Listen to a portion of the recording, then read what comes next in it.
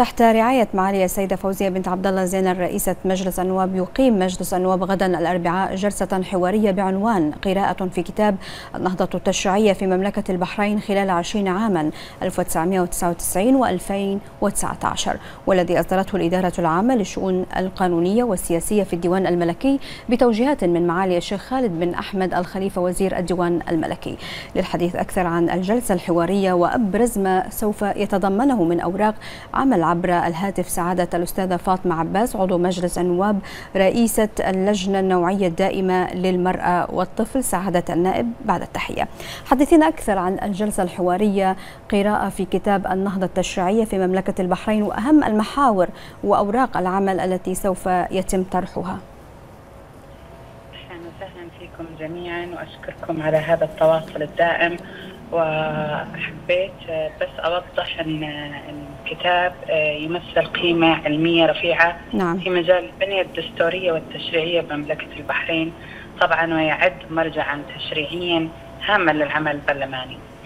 كل هذا في ظل العهد الزاهر والمسيرة التنموية الشاملة بقيادة حضرة صاحب الجلالة الملك حمد بن عيسى الخليفة أهل البلاد المفتح حفظه الله ورعاه. آه الجلسة الحوارية تأتي تنفيذا لتوجيهات آه معالي السيدة وزيرة عبد الله زينب رئيسة مجلس النواب وانطلاقا من سعي المجلس النيابي للاستفادة الفاعلة من الكتاب آه كتاب النهضة التشريعية. حقيقة من المقرر أن تشهد البرامج الجلسة الحوارية غدا عرضا من مسيرة النهضة التشريعية في مملكة البحرين. وتتناول كلمات حول كتاب النهضة وعدد من أوراق العمل التي سيقدمها.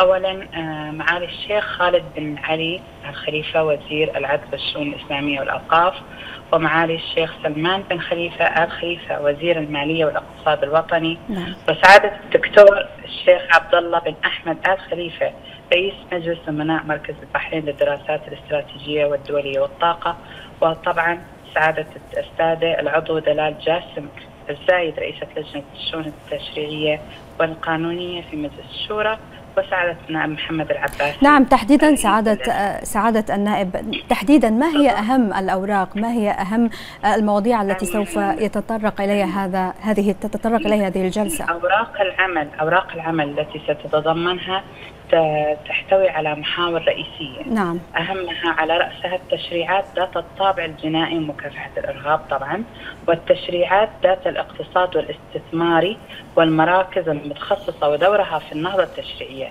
نعم. وكذلك التشريعات ذات الصلة بحقوق المرأة والتشريعات ذات الصلة بالحقوق السياسية. نعم سعادة الأستاذة فاطمة عباس عضو مجلس النواب رئيسة اللجنة النوعية الدائمة للمرأة والطفل. شكرا جزيلا لك.